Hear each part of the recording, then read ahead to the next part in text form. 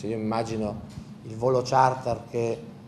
eh, raccoglierà molti esponenti della politica italiana accompagnandoli in Grecia, ecco, vedo che eh,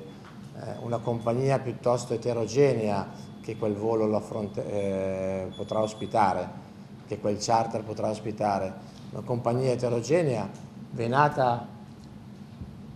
da spinte populiste, quelle che sono state richiamate anche